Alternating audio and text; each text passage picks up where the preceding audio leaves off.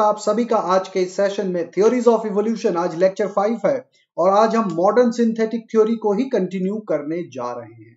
जो modern synthetic theory आज के संदर्भ में प्रासंगिक है, इसको सर्वमान्य जो है मान्यता मिली हुई है, इसी थ्योरी के बारे में जानकारी लेंगे कि मॉडर्न सिंथेटिक थ्योरी का मतलब यह है कि आज की डेट में इवोल्यूशन से रिलेटेड जो भी हमारी इंफॉर्मेशन है, उस इंफॉर्मेशन को इस थ्योरी ने कैसे बखूबी एक्सप्लेन किया। ये थ्योरी किसी एक साइंटिस्ट की देन नहीं है, इसमें बहुत सारे वैज्ञानिकों का योगदान रहा है और उसका जो निचोड़ निकल करके आया है, यानी कि इवोल्यूशनरी प्रोसेस को आज किस तरह से समझा जाता है, उसी चीज़ के ऊपर आज भी हमारा सेशन है।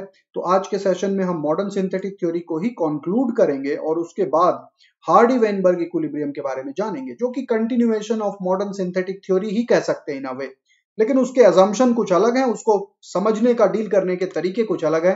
तो अगले सेशन में हम हार्डी वेनबर्ग इक्विलिब्रियम के बारे में जानेंगे। अभी आज हम समझेंगे मॉडर्न सिंथेटिक थ्योरी को कंटिन्यूटी में कल जहाँ तक कंप्लीट किया था। तो कल की जो थ्योरी थी, जिसमें हमने फाउंडर इफ़ेक्ट के बारे में बात करी, जिसमें हमने बॉटल नेक इफ़ेक्ट के बारे में बात करी, वो तो एक पार्ट था, एक कॉन्सेप्ट था, लेकिन आज जो हम डिटेल में डिस्कशन करने जा रहे हैं, वो कुछ ज़्यादा डिटेल में है। यानी कि एक्चुअल प्रोसेस किस तरह से नई स्पीशीज का प्रादुर्भाव होता है, यानी कि नई स्पीशीज कैसे बनती है, इसके बारे में आज ज़्यादा डिटेल में हम समझने वाले हैं। तो स्वागत है बच्चों आप सभी का, जो आज के सेशन में आए हुए हैं। ईशा शीतल, कोमल, सुरभि, दिग्विजय, इसके अलावा निकू ने ज्वाइन किया, आरजी, आंचल, हबीबुल्ला, काफ़ी बच्चे आ चुके हैं, शुरू कर देते हैं सेशन को।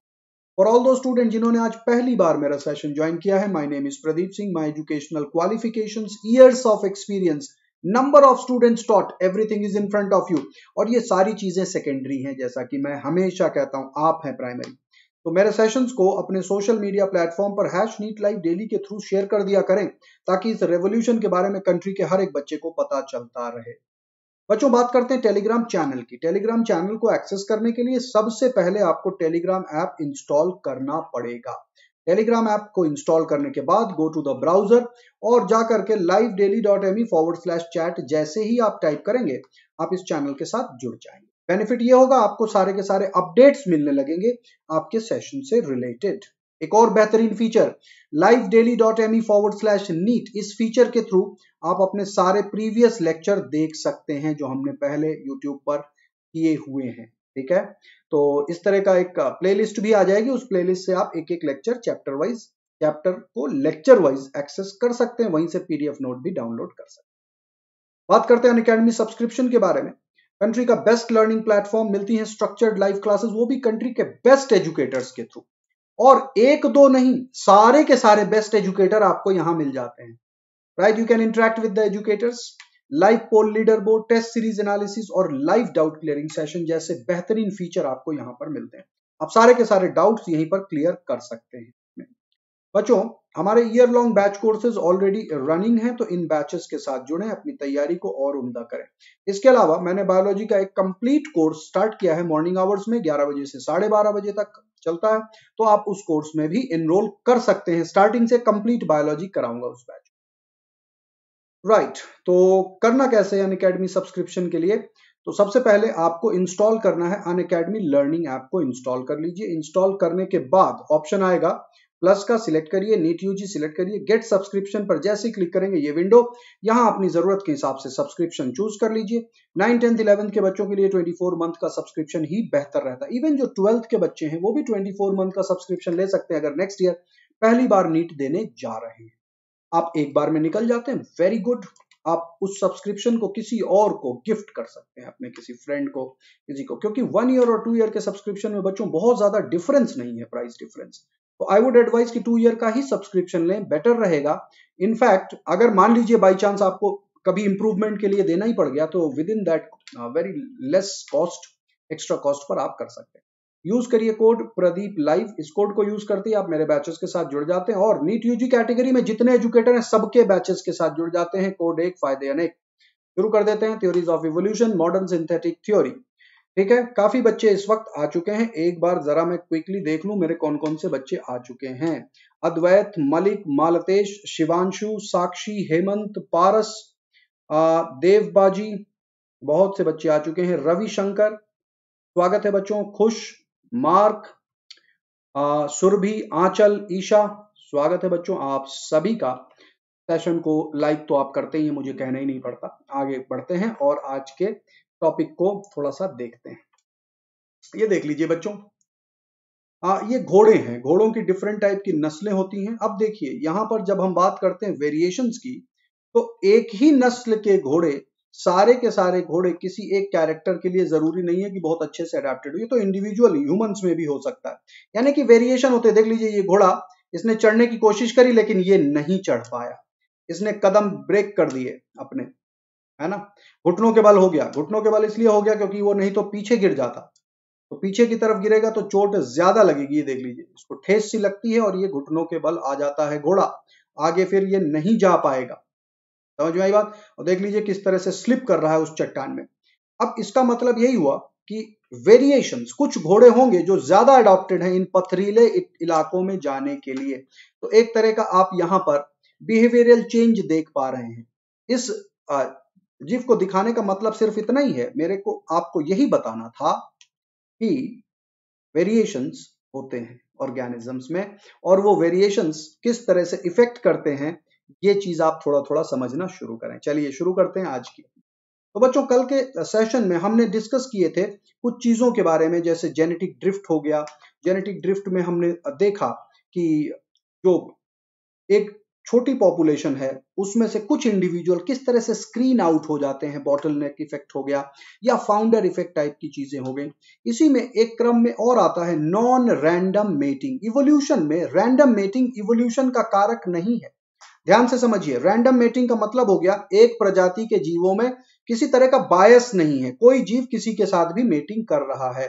तो जीन पूल इक्वली डिस्ट्रीब्यूट होता रहता है। जीन पूल में जो जीन की फ्रीक्वेंसी होती है या एलील की फ्रीक्वेंसी होती है डिस्ट्रीब्यूशन उसमें कोई फ़र्क नहीं पड़ेगा। मान लीजिए, लाल, पीला, हरा, तीन तरह की अलील हैं। से फॉर एग्ज़ाम्पल लाल, पीला, हरा, तीन तरह की अलील हैं सिंपल सी बात है। और तीनों के बीच में कॉम्बिनेशन किसी भी आधार पे हो रहा है नॉन रैंडम है। माने रैंडम है। रैंडम का मतलब है कि किसी निर्दिष्ट तरीके से नहीं है।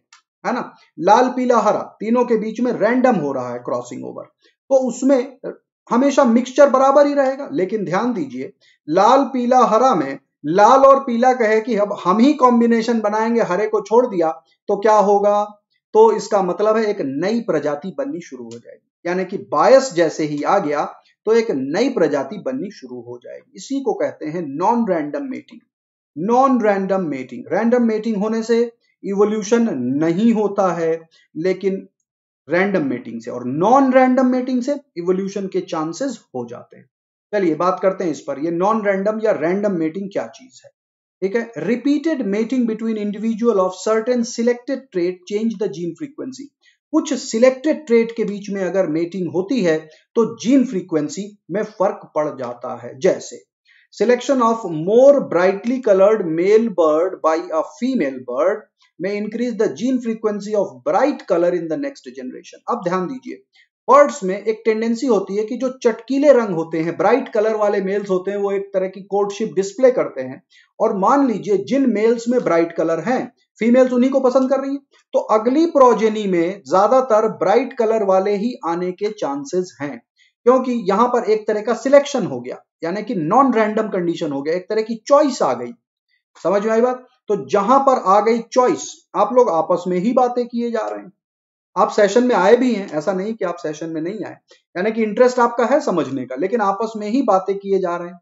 Right Surbhi, Rakhi, Aditya, Sudhir, Manoj learn learn and live smart जो है, आपका नाम बढ़िया रखा है आपने। लर्न एंड लिव स्मार्ट वो कह रहे हैं कि डिसलाइक कर दो। कर दीजिए, आपकी मर्ज़ी है, मैंने तो किसी को पकड़ा नहीं है लाइक करो, चाहे डिसलाइक करो, आपकी मर्ज़ी है। अच्छा लगे तो लाइक करिए अच्छा ना लगे तो डिसलाइक कर दीजिए बटन बनाया इसीलिए गया है। अगर मुझे सिर्फ़ लाइक ही कराना होता तो डिसलाइक का बटन तो मैं देता ही नहीं। मैं यानी कि यूट्यूब नहीं देता। ठीक है, चलो। आगे बढ़ते हैं। Jokes apart let's now concentrate Muskan thank you for the roses बच्चे। थैंक यू ठीक है। दानिश का प्रश्न है कि कोर्स कब तक कंप्लीट होगा। कोर्स तो चल ही रहा है बच्चे कंप्लीट भी हो जाएगा। और अब एक एजुकेटर अकेला तो ले नहीं रहा मैम भी ले रही है। तो बायोलॉजी का कोर्स बिल्कुल कंप्लीट करा दिया जाएगा। अब टाइम फ्रेम एग्जैक्ट कहना थोड़ा सा मुश्किल होता है लेकिन कराने के लिए प्रतिबद्ध है। मैंने पिछले सेशन में भी कराया है। इस सेशन में भी कराऊँगा। इस चीज़ को लेके आप बे, बिल्कुल बेफिक्र रहें। ठीक है? तो यहाँ जो बात मैंने समझाने की कोशिश करी वो समझने की कोशिश करी। More brightly coloured male bird को अगर हर बार फीमेल बर्ड चूज़ करती रहेगी तो ब्राइटली कलर्ड ही आएँगे, ज़्यादातर उस अगली जनरेशन में। तो यहाँ पर क्या हो रहा है? नई प्रजाति का सृजन हो रहा है। यानी कि ब्राइटली कलर्ड एक्यूमुलेट हो रहा है लाइट कलर एलिमिनेट हो रहा है। ब्राइट कलर एक्यूमुलेट हो रहा है और लाइट कलर एलिमिनेट हो रहा है, क्योंकि मेटिंग ही नहीं होगी। अब जब उसको मेटिंग के प्रोसेस में वो बेचारा आ ही नहीं पाएगा लाइट कलर वाला तो अपनी प्रोजेनी कैसे बढ़ाएगा? सिंपल सी बात है। तो non random mating is a event in evolution creation चलिए आगे बढ़ते हैं, थोड़ा सा और समझ समझाते हैं आपको। हाइब्रिडाइजेशन एक और पद्धति है, जिसको कहते हैं हाइब्रिडाइजेशन हाइब्रिडाइजेशन जब भी होगा, वो हर बार वेरिएशंस को लीड करेगा। वेरिएशंस आएँगे हाइब्रिडाइजेशन और उन्हीं वेरिएशन से आप समझ ही सकते हैं कि इवोल्यूशनरी प्रोसेस होगा। तो हाइब्रिडाइजेशन क्या it is the crossing of organism which are genetically different in one or more trait अलग अलग कैरेक्टर के ऑर्गेनिज्म की जो क्रॉसिंग ओवर होती है, उसी को हाइब्रिडाइजेशन कहते हैं। It helps in intermingling of gene of different group of the same variety species and sometime different species ज़्यादातर सेम स्पीशीज के ही डिफरेंट एलील की मिक्सिंग होती है। कभी कभी अलग स्पीशीज भी हो सकती है। ना all the above factor produce genetic variation in sexual reproduction तो ये हाइब्रिडाइजेशन भी जेनेटिक वेरिएशन को प्रोड्यूस करता है, लेकर के आता है। जेनेटिक वेरिएशन है तो ज़ाहिर सी बात है इवोल्यूशनरी सीक्वेंस में ये काम में आएगा ही आएगा। आगे बढ़ते हैं, ये देख लीजिए। अब डॉग्स को देखिए अलग अलग प्रजाति के डॉग्स के बीच में अगर मेटिंग कराई जाती है तो ज़ाहिर सी बात है हाइब्रिडाइजेशन होता है। और हाइब्रिडाइजेशन अगर है तो नई नई ब्रीड बन के आती है। इसको आर्टिफिशियल सिलेक्शन के नाम से भी जाना जाता है, आप तो जानते ही हैं। वुल्फ के बारे में बात करी डॉग्स जो हैं वुल्फ की ही प्रजाति है। Dogs belong to the same species as that of wolf Canis lupus है ना? कैनिस लूपस फैमिलियरिस डॉग को कह दिया जाता है और कैनिस लूपस सिर्फ़ वुल्फ को कहा जाता है। तो उसी की सब स्पीशीज है। इसका मतलब जो अलग अलग प्रजाति के डॉग्स आपको दिखाई देते हैं, ये मेटिंग की वजह से, ये हाइब्रिडाइजेशन की वजह से हाइब्रिडाइजेशन से नई नई प्रजातियाँ उत्पन्न होती हैं बन करके आती अब बात करते हैं आइसोलेशन जिसको कहते हैं जियोग्राफिकल आइसोलेशन या पहले तो आइसोलेशन समझ लेते हैं आइसोलेशन क्या है? Isolation is the prevention of mating amongst interbreeding group due to physical physical condition हो सकते हैं या बायोटिक कंडीशन की वजह से आइसोलेशन देखने को मिलता है। आइसोलेशन का मतलब है कि मेटिंग नहीं होने दिया जा रहा। जैसे जू में मान लीजिए जानवरों को पकड़ करके बंद करके रख दिया अलग अलग कटघरे में रख दिया तो मेटिंग तो हो नहीं पा रही। तो इसको कहते हैं isolation so isolation is the prevention of mating amongst inter breeding group due to physical हो सकता है, जिसमें कि ज्योग्राफिकल होते हैं कंडीशंस इकोलॉजिकल कंडीशंस हो सकते हैं। यहाँ पर एक ज्योग्राफिकल कंडीशन दिखाता हूँ बच्चे। ये जो आप यहाँ पर डायग्राम देख रहे हैं this is isthmus of Panama isthmus is a narrow part of land और यहाँ पर जो कंट्री है उसका नाम है पनामा तो इसलिए कहते हैं इस्थमस ऑफ़ पनामा ये इस्थमस है क्या चीज़? ये बच्चों नॉर्थ अमेरिकन कॉन्टिनेंट को और साउथ अमेरिकन कॉन्टिनेंट को जोड़ने वाला छोटा सा हिस्सा है. लैंड मास है. इसमें पनामा कैनाल भी है. दोनों तरफ़ आने जाने के लिए यहीं कहीं पर पनामा कैनाल भी है। तो अगेन जियोग्राफी के एजुकेटर्स आपको ज़्यादा एग्जैक्टली बता पाएँगे कि पनामा में इस पूरे कंट्री में कहाँ से कैनाल खुदी हुई है। I am not aware exactly लेकिन यहाँ पर कनाल भी है वाटर ट्रांसपोर्ट के लिए, ताकि इधर से उधर जा सके। आप ध्यान दीजिए, इधर का जो सागर है this is known as Atlantic और जो इधर का सागर है this is known as Pacific और ये जो एरिया आप देख रहे हैं, छोटा सा एरिया दिख रहा है, ये नॉर्थ अमेरिकन कॉन्टिनेंट है, जहाँ पर मेक्सिको यूएसए और कनाडा जैसे देश हैं। और यहाँ का जो पोर्शन आप देख रहे हैं बच्चों, ये साउथ अमेरिकन कॉन्टिनेंट है, जहाँ पर Brazil Peru Bolivia Ecuador West Indies जैसे कंट्रीज़ हैं। अब यहाँ पर इस बैरियर की वजह से, जो इस्थमस है लैंड मास है इस्थमस ऑफ़ पनामा कहा जाता है लॉबस्टर्स की अलग अलग स्पीशीज आप देख लीजिए। इधर अलग प्रजातियाँ हैं, इधर अलग प्रजातियाँ हैं। यानी कि इनमें हैं तो लॉबस्टर ही, लेकिन इनमें कभी भी आपस में मेटिंग नहीं होती है। इनके बीच में ज्योग्राफिकल बैरियर है, बहुत तगड़ा बैरियर है। आई बात समझ में? तो इस बैरियर को ये क्रॉस नहीं कर सकते, इसलिए एक अलग टाइप की प्रजाति बन गई। अच्छा बायोटिक भी हो सकता है कभी कभी फिजियोलॉजिकल बैरियर हो जाता है। बिहेवियरियल बैरियर हो जाता है, मैकेनिकल बैरियर हो सकता है, जेनेटिक बैरियर हो सकते हैं, ये अलग अलग टाइप के बैरियर्स हैं। तो बैरियर कौन कौन से हो सकते हैं? Geographical barrier, ecological barrier, physiological barrier behavioural barrier, mechanical, genetic barrier. चलिए एक एक करके बैरियर्स के बारे में जानकारी लेते हैं, लेकिन ध्यान रहे, यहाँ पर हम आइसोलेशन का तो मतलब हो गया अलग अलग फीचर से। रिप्रोडक्टिव आइसोलेशन तो रिप्रोडक्टिव आइसोलेशन का क्या? Reproductive isolation is prevention of interbreeding between population of two different species दो अलग अलग प्रजातियों के बीच में रिप्रोडक्टिव आइसोलेशन दो प्रजातियाँ हैं, दो अलग अलग स्पीशीज या सब स्पीशीज हैं, इनके बीच में अगर प्रिवेंशन हो जाए इंटरब्रीडिंग की तो इसको कहते हैं reproductive isolation it maintains characters of the species but can lead to the origin of new species ध्यान दीजिए बच्चों जो रिप्रोडक्टिव आइसोलेशन होता है, ये एक नई प्रजाति को उत्पन्न कर सकता है। क्यों? क्योंकि जो एग्जिस्टिंग जीन पूल है, उसमें तो मेटिंग हो ही नहीं रही ना। मेटिंग का फीचर चेंज हो गया फॉर्मेट चेंज हो गया सिलेक्टिव हो गया तो रिप्रोडक्टिव आइसोलेशन से नई प्रजातियाँ आ सकती अब इसमें दो मेन सब टाइप हैं प्री मेटिंग आइसोलेशन और पोस्ट मेटिंग आइसोलेशन दो तरह के हो सकते हैं आइसोलेशन टू सब टाइप में बी कंसिडर्ड एक है प्री मेटिंग आइसोलेशन और एक है post mating isolation pre mating isolation आप समझ ही गए मेटिंग होने से पहले का आइसोलेशन और पोस्ट मेटिंग मेटिंग हो जाने के बाद का आइसोलेशन तो let us understand pre mating isolation को सबसे पहले समझते हैं। क्योंकि पोस्ट मेटिंग आइसोलेशन से अगली जनरेशन में तो आएगी दिक्कत, लेकिन एक तरफ़ से तो जीन फ्लो हो ही चुका है। मेटिंग के बाद आइसोलेशन हुआ है। है ना? तो जीन तो आ ही चुकी है। नाउ प्री मेटिंग आइसोलेशन क्या होता है?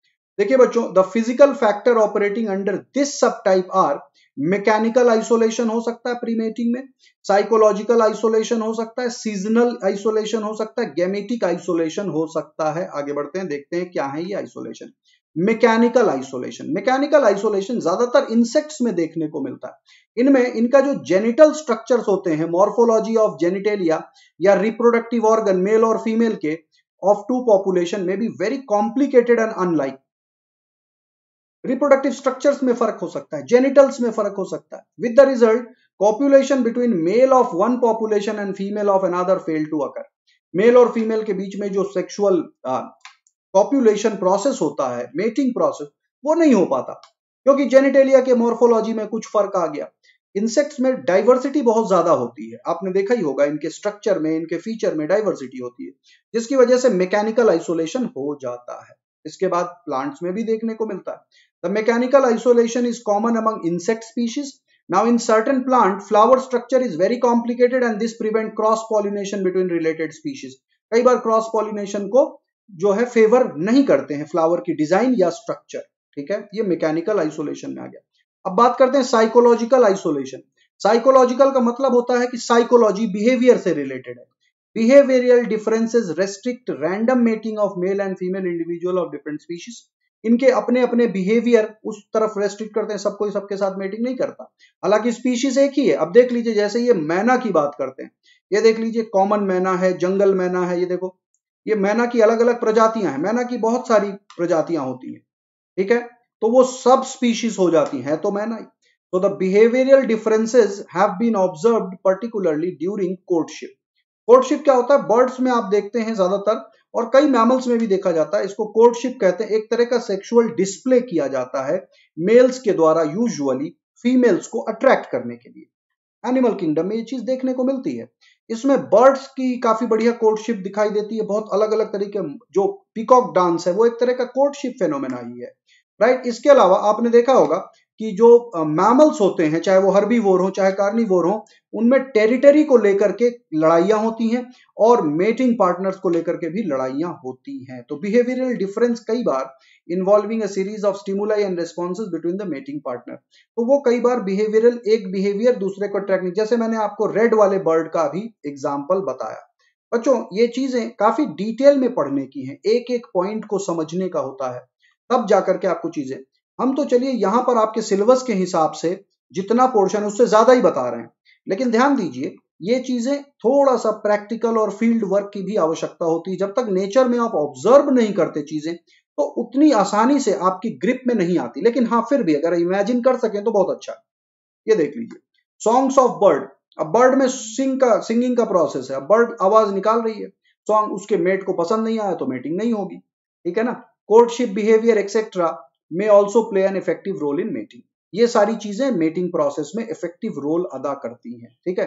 अब ये बर्ड तो चलिए अपने एक कॉल निकाल रही है मेटिंग कॉल करते हैं ना बर्ड्स में। अब उसके पार्टनर को अगर वो कॉल पसंद नहीं आई तो ज़ाहिर सी बात है कि ये मेटिंग का मैकेनिज्म नहीं होगा।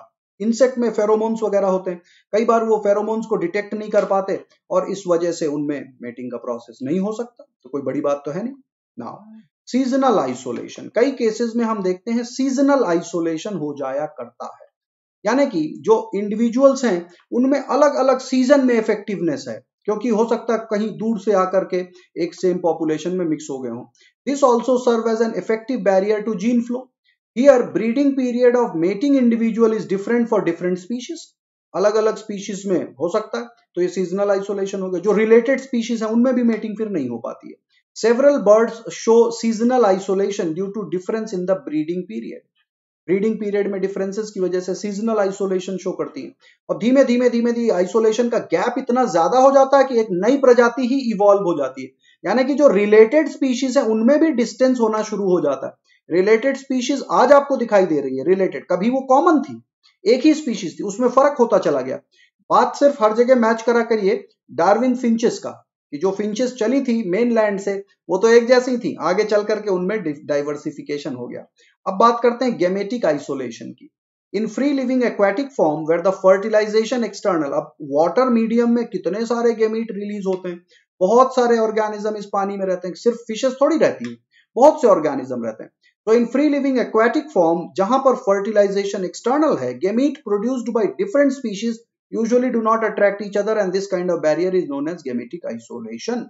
अलग अलग प्रजातियों के बीच में या जो सब स्पीशीज हैं, अभी तक एक ही स्पीशीज थी, अब नई सब स्पीशीज बनी, उनके गैमीट आपस में फ्यूज नहीं हो पा रहे।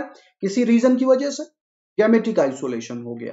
कुछ कुछ फ़र्क हो गया। हल्के से परिवर्तन से गैमीट फ्यूज नहीं हो पा रहे। इसको गैमेटिक आइसोलेशन कह सकते हैं। ये देख लीजिए। प्रॉक्स वगैरह को देखिए आप। अब इस वाटर में आपको फ्रॉग तो दिखाई दे रहे हैं, लेकिन इसमें और भी तरह के हो सकते हैं ऑर्गेनिज्म एम्फीबियन में सिर्फ़ फ्रॉग तो नहीं आते। फ्रॉग में रेनी सीज़न में देखिए मेटिंग का प्रोसेस होता है एक्सटर्नल फर्टिलाइजेशन होता है फ्रॉग्स में। मेल एंड फीमेल का जो सेक्सुअल एम्ब्रेस होता है, उसमें मेल भी अपना मिल्ट रिलीज़ करता है और फीमेल भी जितने ओवम होते हैं वो सारे के सारे रिलीज़ करती फर्टिलाइजेशन इनका वाटर में होता है। अनफर्टिलाइज्ड एग ले किए जाते हैं। समझ में आई बात? अनफर्टिलाइज अब कई मछलियाँ भी होंगी इस पानी में। मेंढक की भी कई प्रजाति होंगी। अब आप खुद ही सोचिए गेमेटिक आइसोलेशन होगा कि नहीं होगा? जब बहुत तरह के गेमीट एक ही वाटर में होंगे, कौन सा गेमीट किसके साथ फर्टिलाइज करे? वैसे तो फिक्स होता है, इनमें केमिकल अट्रैक्शन होता है। लेकिन जो थोड़े थोड़े डिफरेंसेस हो जाते हैं, उनकी वजह से गेमेटिक आइसोलेशन बढ़ता जाता है, बढ़ता जाता है, बढ़ता जाता है। पहले गेमेटिक आइसोलेशन एक आध बार बाई चांस हो गया। फिर उसके बाद टाइप्स में थोड़ा थोड़ा फ़र्क होता गया तो गेमेटिक आइसोलेशन होता चला गया, इससे भी नई नई प्रजातियाँ आती हैं। समझ में आ रही बात? नाउ पोस्ट मेटिंग या post zygotic isolation post mating iso pre mating isolation हमने देख लिया कि मेटिंग से पहले का जो आइसोलेशन है, जिससे मेटिंग ही नहीं हो पाती। अब मान लीजिए यहाँ पर मेटिंग हो गई पोस्ट मेटिंग है पोस्ट जाइगोटिक आइसोलेशन मतलब फर्टिलाइजेशन भी हो गया, उसके बाद भी आइसोलेशन हो जाते हैं। वो कैसे आइसोलेशन है? तो देखिए, जो main factor operating under this subtype are incompatibility hybrid inviability inviability hybrid बना तो सही, लेकिन वायबल नहीं है। हाइब्रिड स्टेरिलिटी स्टेराइल हो गया, जो अगला जनरेशन प्रोड्यूस हुआ है, दो स्पीशीज के बीच में। एंड हाइब्रिड ब्रेक डाउन तो ये चीज़ें भी देखने को मिलती हैं, क्योंकि इन आइसोलेशन से भी again it leads to the evolutionary sequence ठीक है ना? चलिए, आगे बढ़ते हैं इनकम्पैटिबिलिटी को देखते हैं। In some instances mating takes place between populations but fertilization may not takes place और even fertilization may occur but no hybrid progeny will be form यानी कि सारा प्रोसेस हो रहा है, लेकिन इनकम्पैटिबिलिटी है। इनकम्पैटिबिलिटी की वजह से कोई प्रोजेनी नहीं प्रोड्यूस हो रही। In plants pollen tube fail to grow and will not reach any ovule. ये हो सकता है इनकम्पैटिबिलिटी pollen ट्यूब की ग्रोथ ही ना हो। समझ में आ रही? तो एक तरह से रेस्ट्रिक्शन हो रहा है। इवोल्यूशनरी प्रोसेस काम कर रहा है। अब बात करते हैं हाइब्रिड इन वायाबिलिटी की। यहाँ पर नॉर्मल फर्टिलाइजेशन तो हो रहा है। इसमें कहीं कोई शक नहीं है। हाइब्रिड ऑस्प्रिंग भी बन रहा है। But the hybrid has reduced viability अब हाइब्रिड जो बन गया, वो आगे की प्रोजेनी नहीं कर पा रहा। आगे का रिप्रोडक्शन नहीं कर पा रहा है। तो वो वाइप आउट हो जाएगा, सीधी सी बात है। तो द हाइब्रिड इन वायबिलिटी में appear at any stage of development ये कभी भी देखने को मिल सकती है हाइब्रिड इन वायाबिलिटी हाइब्रिड हालाँकि बने बहुत तरह के हैं। नाउ अब बात करते हैं hybrid sterility hybrid inviability की अगर हम बात करें तो आप देख लीजिए लाइगन टाइगॉन, है ना? लाइगर और टाइगॉन, इनके नाम आपने सुने हुए हैं राइट तो ये भी एक तरह की, इसी तरह की प्रोसेसेस को करते हैं हाइब्रिड इन वायबिलिटी को शो करते हैं। यानी कि हाइब्रिड प्रोड्यूस तो हो गए, लेकिन वो अब आगे बहुत ज़्यादा वायबल नहीं है, आगे फर्टाइल नहीं अब कुछ कुछ है हाइब्रिड स्टेरिलिटी को लीड कर जाते हैं मतलब स्टेराइल ही हो जाते हैं। इन मेनी केसेस हाइब्रिड में भी vigorous and live to sexual maturity but are sterile sexual maturity तक तो जाते हैं, लेकिन स्टेराइल हो जाते हैं गेमीट नहीं प्रोड्यूस करते। जैसे कि बड़ा कॉमन एग्ज़ाम्पल आता है हॉर्स एंड डोंकी का। दो अलग अलग स्पीशीज हैं और एक अगर हाइब्रिड म्यूल बनता है, जिसका मेल डोंकी और मेयर यानी कि फीमेल हॉर्स की मेटिंग की वजह से म्यूल बनता है। ठीक है ना? डोंकी मेल डोंकी और फीमेल हॉर्स की मेटिंग से म्यूल बनता है, जिसको खच्चर भी कहा जाता है। ये स्टेराइल होते हैं। इसी तरह से हिनी भी पाई जाती है। मेटिंग बिटवीन स्टैलियन स्टैलियन यानी कि मेल हॉर्स है ना? मेयर यानी कि फीमेल हॉर्स स्टैलियन मतलब male horse and female donkey result in a hybrid called hinny both mule and hinny are sterile mule और हिनी हार्डी वर्क में use किए जाते हैं इनको, है ना? बोझा ढोने वगैरह के लिए इस तरह के कामों में लिया जाता है इनको। बहुत हार्डी एनिमल्स होते हैं, इसमें कोई शक नहीं। लेकिन आगे की जनरेशन को नहीं प्रोड्यूस कर पाते। यानी कि ये प्रोड्यूस तो हुआ प्रोजेनी तो आई, लेकिन वो प्रोजेनी आगे अपने आप को नहीं कर पाएगी तो इवोल्यूशनरी प्रोसेस में इनका भी काम खत्म हो गया। इससे भी कुछ बना नहीं और दोनों अलग अलग स्पीशीज बन गए। क्योंकि जब स्टिराइल है ही नहीं तो इनकी प्रजाति आगे नहीं बढ़ेगी तो वो जीन पूल जो हॉर्स और डोंकी की मेटिंग की वजह से आया, वो आगे नहीं बढ़ सकता। तो अलग अलग बन गए। हॉर्स और डोंकी में डिवाइड और तगड़ा होता गया। दोनों के बीच में मतलब दोनों अलग ही स्पीशीज हो गए over the long period of time starting में तो मान लीजिए थोड़ा थोड़ा डिफरेंसेस थे। Now hybrid breakdown hybrid breakdown क्या होता है? हाइब्रिड ब्रेकडाउन में सब कुछ हुआ नॉर्मल हुआ। और हाइब्रिड वीगर भी आया एफ़ जनरेशन में। ध्यान दीजिए in some instances not only vigour hybrids are produced, but also these hybrid produce F2 individual of back cross progeny. F1 generation में बेटर प्रोजेनी मिली। लेकिन जब F2 जनरेशन आया तो बैक क्रॉस वाली प्रोजेनी मिल गई, यानी कि पेरेंट टाइप ही मिल गया। तो इसमें क्या कहते हैं? इसको हाइब्रिड ब्रेक डाउन कहते हैं। हाइब्रिड बना तो सही हाइब्रिड फिगर भी आया, लेकिन वो कंटिन्यू नहीं हो पाया, वो ब्रेक डाउन हो गया। यानी कि पेरेंट टाइप ही हो गया। Unfortunately hybrid break down result in the F2 and back cross generation as these generation have reduced vigor of fertility or both.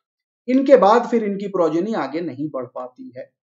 समझ में आई बात? तो हाइब्रिड ब्रेकडाउन जैसा फीचर भी देखने को मिलता है। नाउ हाइब्रिड ब्रेकडाउन ध्यान से समझिए। Examples of species that breed in captivity and produce fertile hybrid are कुछ एग्ज़ाम्पल देख लेते हैं जो फर्टाइल ऑफस्प्रिंग को प्रोड्यूस तो करते हैं, लेकिन इनमें हाइब्रिड ब्रेक डाउन जैसा फेनोमेना देखने को मिल जाता है। जैसे अफ्रीकन लायोनेस पैंथेरा लियो और एशियन टाइगर पैंथेरा टिग्रिस हमारे एशिया का टाइगर पैंथेरा टिग्रिस और वो मेल होगा अफ्रीकन लायोनेस यानी कि फीमेल अफ्रीकन लायन प्रोड्यूस करेगा टाइगॉन टाइगॉन मतलब मेल तो जो है टाइगर था, और अफ्रीकन लायोनेस है तो पैंथेरा लियो टाइगर और लायन का क्रॉस जो करा के देखा गया है एशियन टाइगर यानी कि मेल एशियन टाइगर और फीमेल लायन अफ्रीकन लायन जिसको लायोनेस कहेंगे प्रोड्यूस करता है टाइगॉन्स ठीक है ना? अगेन इसी को अगर उल्टा कर दीजिए तो लाइगर भी कह सकते हैं। लायन और टाइगर का क्रॉस मेल और फीमेल को इंटरचेंज कर दिया।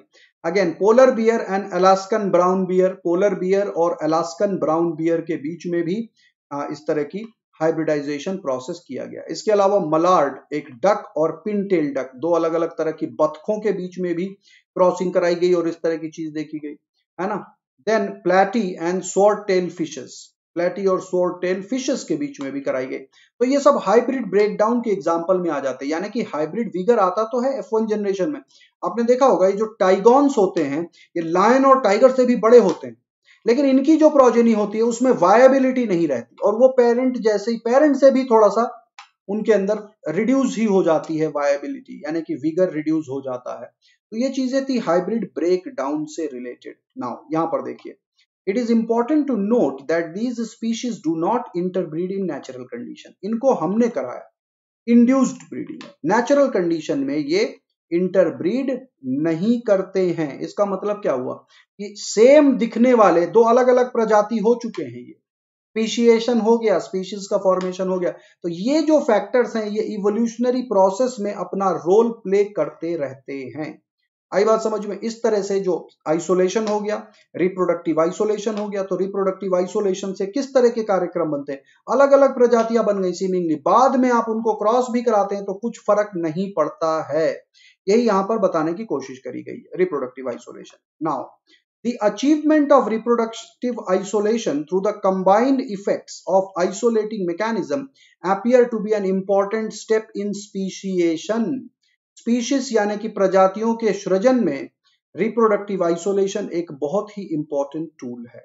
तो achievement of the reproductive isolation through the combined effect of isolating mechanism जो अलग अलग मैकेनिज्म हमने देखे आइसोलेटिंग मैकेनिज्म जो आइसोलेट करने का काम करते हैं, यानी कि हाइब्रिड विगर में जैसे हमने देखा कि हाइब्रिड ब्रेक डाउन हो गया तो अगर हम कोशिश भी करते हैं कि उसको कंटिन्यू करने की नहीं होता है, वो रिप्रोडक्टिवली आइसोलेट हो चुके हैं, इससे एक नई प्रजाति के सृजन की तरफ़ रास्ता बढ़ जाता है। यहाँ तो हमने प्रजातियों के बीच में दिखाया।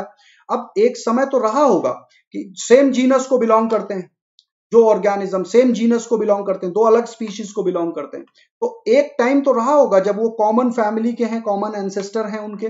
कॉमन एंसेस्टर्स के बीच में से सेपरेट हो गए होंगे। अब ये सिंथेटिक थ्योरीज हैं। क्यों सिंथेटिक थ्योरी क्योंकि नेचुरल कंडीशन में क्या घटा होगा, घटना? हम उन घटनाओं को देखने नहीं जा रहे हैं।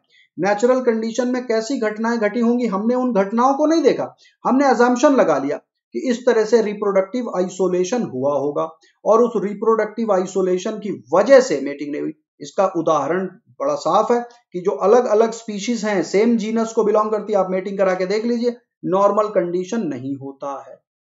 क्लियर है? समझ में आ गई बात। एक बार ये एग्ज़ाम्पल मैं आपको क्विक रिव्यू फिर करा देता हूँ, क्योंकि ये चीज़ को थोड़ा सा आपको अच्छे से समझ करके चलना ही पड़ता है। अदरवाइज़ कंफ्यूजन हो सकता है, ठीक है? तो मैंने आपको बताया, क्या बताया? है ना? क्विक रिकैप आइसोलेशन हाइब्रिडाइजेशन बताया, ठीक है ना? नॉन रैंडम मेटिंग स्पीशिएशन का कारण non random mating non random mating का मतलब है कि चोजन इंडिविजुअल्स के बीच में मेटिंग होगी तो एक तरह के कैरेक्टर बढ़ेंगे, दूसरे तरह के कैरेक्टर घट जाएँगे तो नॉन रैंडम मेटिंग एक बड़ा इंपॉर्टेंट रोल प्ले करता है। फिर बात करी हाइब्रिडाइजेशन की। हाइब्रिडाइजेशन से भी कुछ कुछ नए नए कैरेक्टर आते हैं। ये जो नए कैरेक्टर आ गए, आगे चल करके ये कैरेक्टर दोबारा से मर्ज नहीं करते पॉपुलेशन में, क्योंकि आइसोलेशन जैसे टर्म काम करते हैं। आइसोलेशन में कौन कौन से आ गए जो मेटिंग को प्रिवेंट कराएँगे? ज्योग्राफिकल बैरियर हो गया इकोलॉजिकल बैरियर हो गया फिजियोलॉजिकल बिहेवियरियल मैकेनिकल जेनेटिक इस तरह के बैरियर्स हो गए तो इनसे नई प्रजाति के बनने का रास्ता और मज़बूत हो गया। ठीक है, अब रिप्रोडक्टिव आइसोलेशन डॉग और वुल्फ के बीच में बहुत टाइम से रिप्रोडक्टिव आइसोलेशन है। आज की डेट में डॉग और वुल्फ इंटरब्रीड करेंगे तो हो सकता है कि हो भी जाए प्रोजनी लेकिन स्टिराइल होगी, या हाइब्रिड विगर नहीं होगा, कुछ ना कुछ डिफेक्ट वहाँ पर आ जाता है। यानी कि अलग स्पीशीज बन चुकी। अब ये देखिए, इसके जो रिप्रोडक्टिव आइसोलेशन के दो सब टाइप हमने बात करी प्री मेटिंग आइसोलेशन और post mating isolation pre mating isolation भाई मेटिंग करने से पहले ही आइसोलेट हो गए, इससे ज़्यादा तेज़ी के साथ नई प्रजाति आती है है ना? Mechanical isolation psychological seasonal gametic isolation mechanical isolation reproductive structure में फ़र्क। प्लांट में भी हो सकता है इंसेक्ट एनिमल्स में भी हो सकता है। साइकोलॉजिकल एसोसिएशन आइसोलेशन किस तरह का? इनके बीच में एसोसिएशन हो ही नहीं पाता। साइकोलॉजिकली डिफरेंट बिहेवियर्स इनके एग्जिबिट होते हैं। कोर्टशिप बिहेवियर अलग अलग है। कॉम्प्लेक्स फीचर है यहाँ पर। यहाँ पर मेल फीमेल बर्ड को मेटिंग करने के लिए कोर्टशिप बिहेवियर के ऊपर ध्यान देना पड़ता है। यानी कि अदरवाइज़ मेटिंग ही नहीं होगी इनमें। है ना? तो एक तरह का साइकोलॉजिकल आइसोलेशन हो गया। Song of bird courtship behaviour इनका भी बड़ा इंपॉर्टेंट रोल होता। है हालाँकि अगर ज़बरदस्ती मेटिंग हो जाए, मान लीजिए कि एक एक तरह का मैकेनिकल कुछ इंड्यूस करके हार्मोनल इंड्यूस्ड मेटिंग फिशेज में होता है हाइपोफाइसेशन करके मेटिंग करा दी जाती है। ऐसा कुछ अगर करा भी देंगे तो हो सकता बचा रह जाए आइसोलेशन नहीं, लेकिन नेचर में तो ऐसा होता नहीं है। नेचर में आइसोलेट होते जाते होते जाते होते जाते ठीक है? सीजनल आइसोलेशन हो जाता है। अलग अलग मेटिंग पैटर्न हो गए। मान लीजिए कोई जीव कहीं दूसरे आसपास के इलाके से आया, उसमें थोड़ा सा बिहेवियर में चेंज हो गया। सीजनल वेरिएशन है तो सीजनल आइसोलेशन हो जाता है है ना? मतलब एक ही स्पीशीज है, मान लीजिए एक ही स्पीशीज है या रिलेटेड स्पीशीज है, लेकिन इनमें सीजनल वेरिएशन है। अलग अलग सीज़न में इनका मैच्योरिटी होती है मेटिंग के लिए तो वो हो गया। गेमेटिक आइसोलेशन बहुत तरह के गेमिट हैं। बाई चांस कभी फर्टिलाइज नहीं हुए। गेमिट कोई गारंटी तो है नहीं कि वाटर मीडियम में वो फर्टिलाइज होंगे। कुछ भी हल्का फुल्का फ़र्क पड़ गया जिससे इनकम्पैटिबिलिटी आ गई गेमेटिक आइसोलेशन एक बार ये कार्यक्रम शुरू हो गया तो आगे कंटिन्यू रहेगा। दो अलग अलग स्पीशीज बनने में देर नहीं लगेगी। ठीक है? ये देख लीजिए। देन कम्स पोस्ट मेटिंग और पोस्ट जाइगोटिक आइसोलेशन कभी कभी मेटिंग हो भी गई, फिर भी आइसोलेशन हो गया। इनकम्पैटिबिलिटी की वजह से आइसोलेशन हो गया। Hybrid inviability. हाइब्रिड जो है, वायबल नहीं है। वायबल का मतलब है कि प्रोड्यूस तो हुए, लेकिन बहुत अच्छी आगे प्रोजेनी नहीं बना पाई इनके गेमीट बहुत ज़्यादा फर्टाइल नहीं है। ठीक है? हाइब्रिड स्टेरिलिटी या हाइब्रिड ब्रेकडाउन जैसी चीज़ें हो जाती हैं। इनकम्पैटिबिलिटी भी एक बड़ा इंपॉर्टेंट फीचर है। चलिए आगे बढ़ते हैं। इनकम्पैटिबिलिटी हम देखते हैं कि प्लांट्स वगैरह में भी काफ़ी ज़्यादा इनकम्पैटिबिलिटी सेल्फ इनकम्पैटिबिलिटी होती है। किसी रिलेटेड स्पीशीज की इनकम्पैटिबिलिटी हो गई। तो in plants pollen tube fail to grow and will not reach the ovule बच्चों, आपने नॉर्दर्न व्हाइट राइनो की स्टोरी सुनी होगी।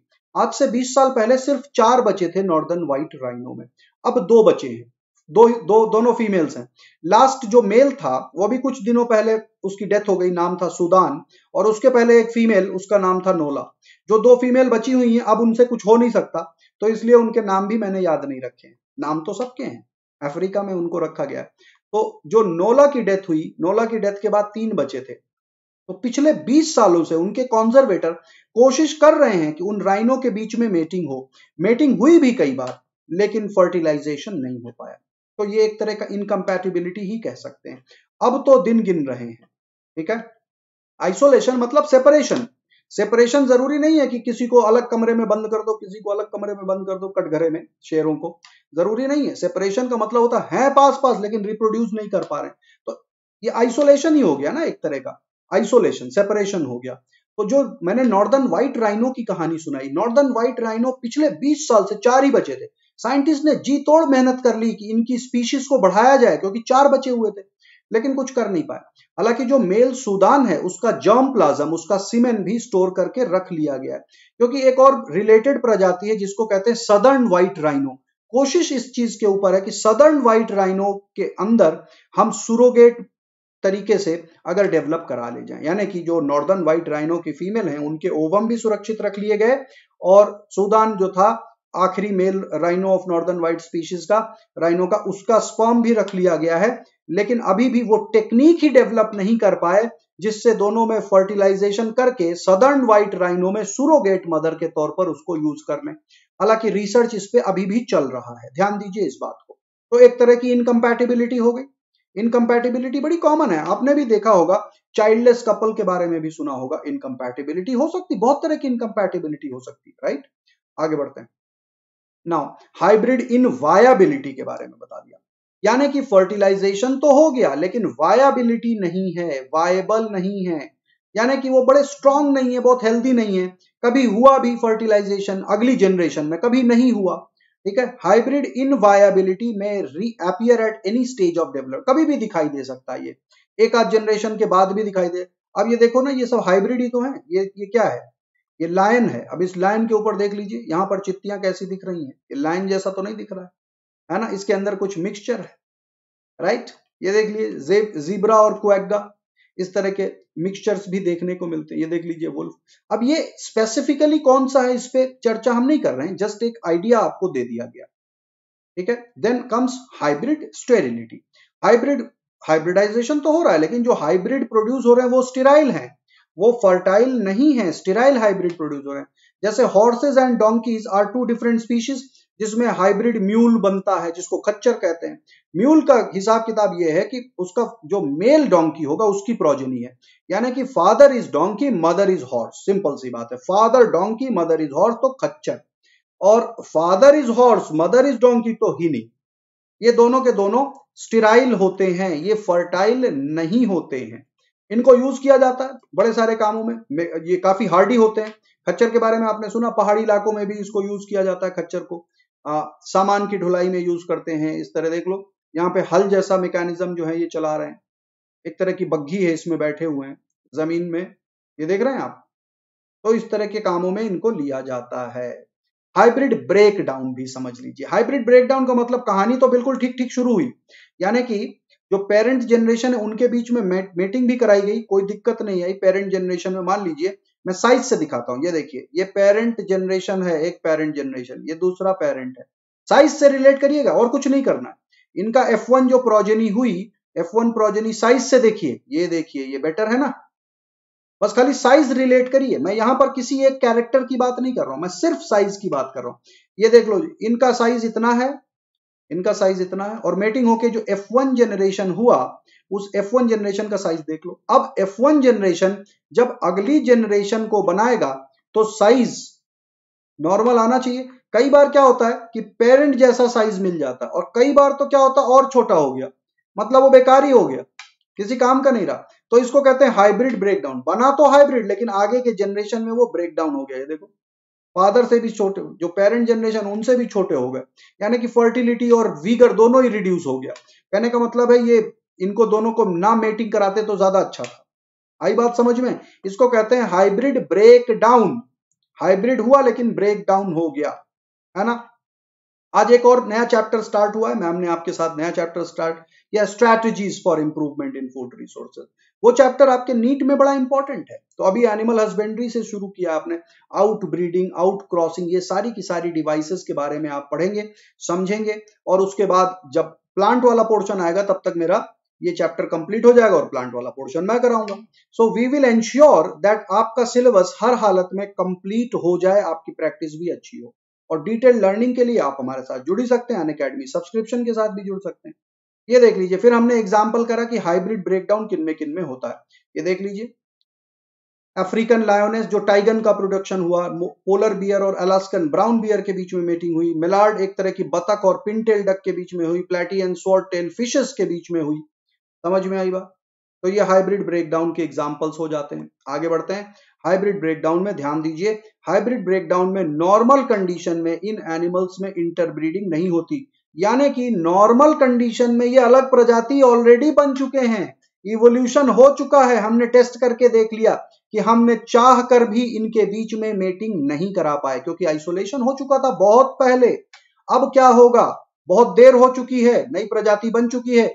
इवोल्यूशन ने अपना काम कर दिया। Evolution as a tool has already work है ना? तो ये प्रमाण मिल जाते हैं कि इवोल्यूशन हुआ है।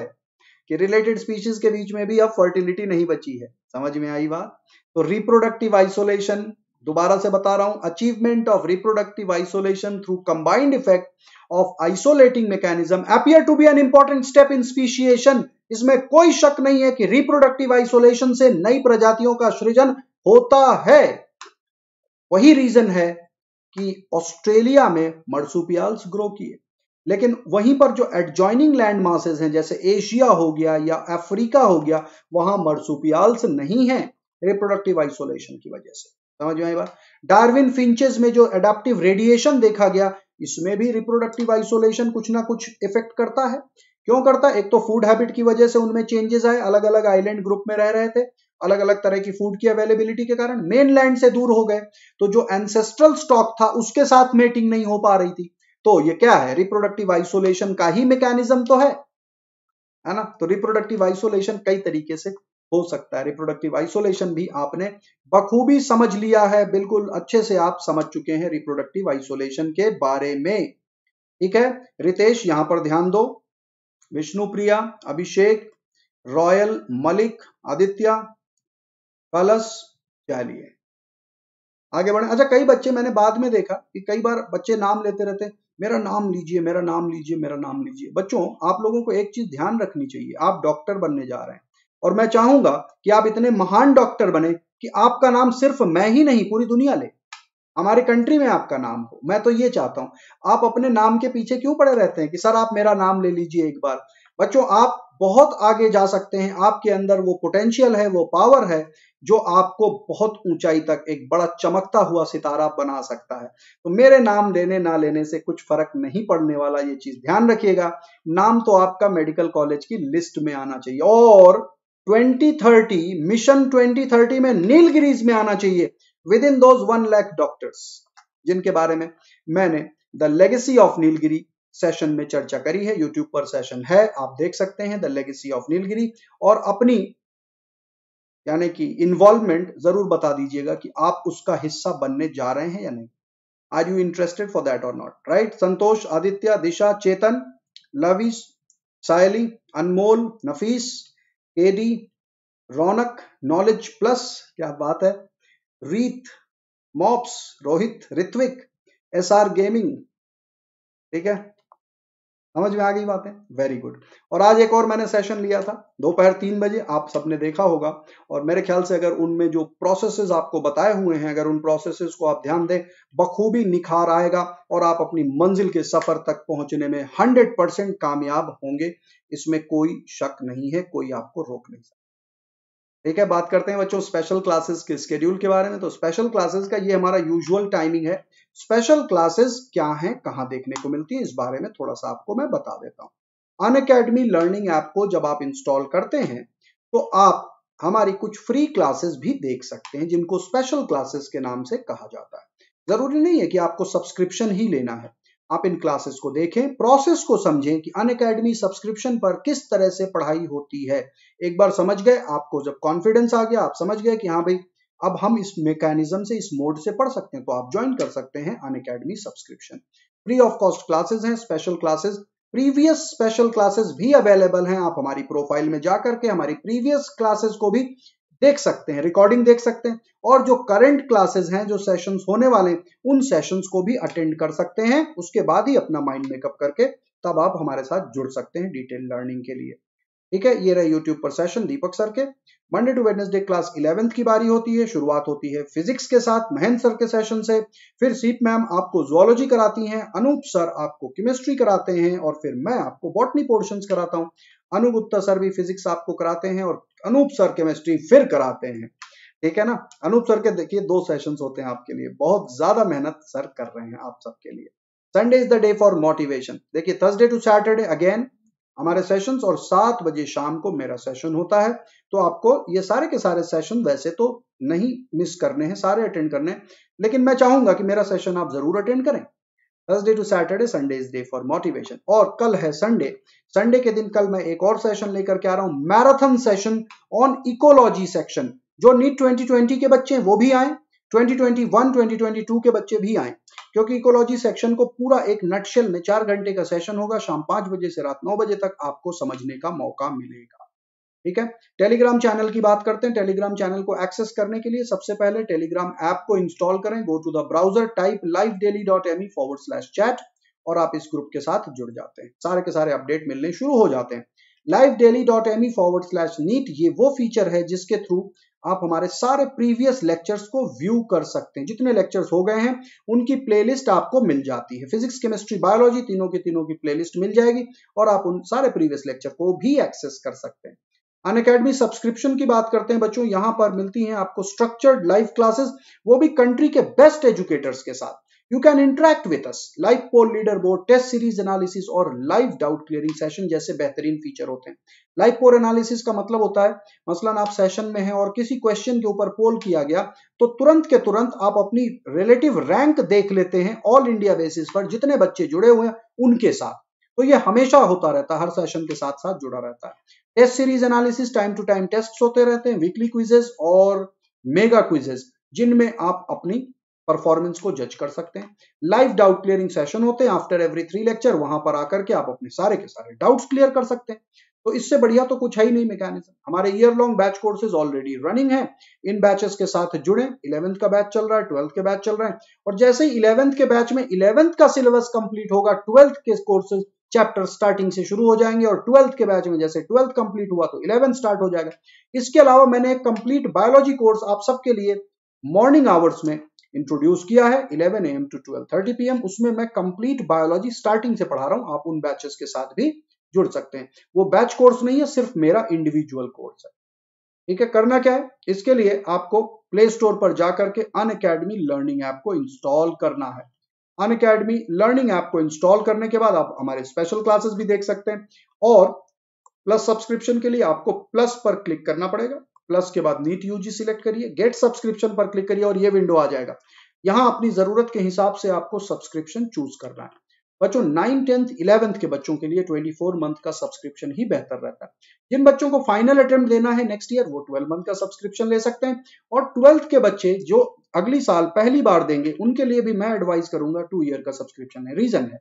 रीजन ये है कि टू ईयर का सब्सक्रिप्शन बहुत ही ज़्यादा कॉस्ट इफ़ेक्टिव पड़ता है। आप देखिए वन ईयर और टू ईयर के सब्सक्रिप्शन प्राइस में ऑलमोस्ट फाइव थाउज़ेंड का ही डिफरेंस है।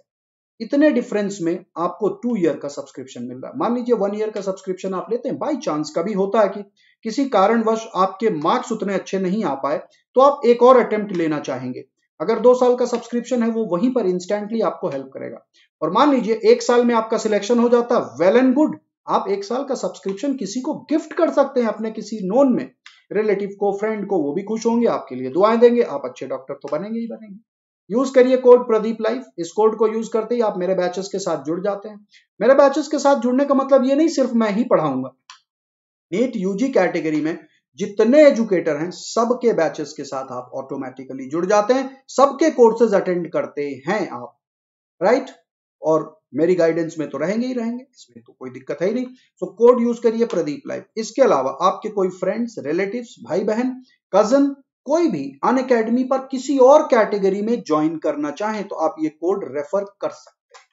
इस कोड को यूज़ करके अन अकेडमी पर कोई भी सब्सक्रिप्शन लिया जा सकता है। कोड एक फ़ायदे अनेक कई बार आप कहते हैं, सर, आपने पूरा ठीक से बताया नहीं। तो मैंने कहा, नहीं, बताना भी ज़रूरी है, क्योंकि आप जानेंगे नहीं तब तक आप उस चीज़ के बारे में समझेंगे नहीं। And using this code you will directly support me ठीक है? मेरे सेशन अगर पसंद आते हैं, ज़रूर यूज़ करें code and Unacademy NEET channel को सब्सक्राइब करना बहुत ही आवश्यक है। और बेल आइकन को भी हिट कर दीजिए ताकि सारे के सारे अपडेट्स मिलते रहें। हैश नीट लाइव डेली पर भी अपने सोशल मीडिया प्लेटफॉर्म पर शेयर करें ताकि इस रेवोल्यूशन के बारे में कंट्री के हर एक बच्चे को पता चल सके। Unacademy NEET Unacademy JEE Unacademy for nine tenth and eleven twelfth all are our sister channel together let's crack it and for joining with an academy subscription, use code pradeep live. You will also get 10% discount. By using this code मेरी guidance में आपको अपनी मंजिल का सफ़र तय करने का मौका मिलेगा। और बाकी सारे एजुकेटर के साथ भी जुड़ जाते हैं। मेरा आशीर्वाद आपके साथ हमेशा है। That is all for now बच्चों। See you all again tomorrow morning in the special classes तो कल स्पेशल क्लासेस संडे है। संडे के दिन कई सारी स्पेशल क्लासेस होती हैं। तो आप लोग ज़रूर ज्वाइन करें। एनटीए पेपर डिस्कशन करा रहा हूँ आजकल।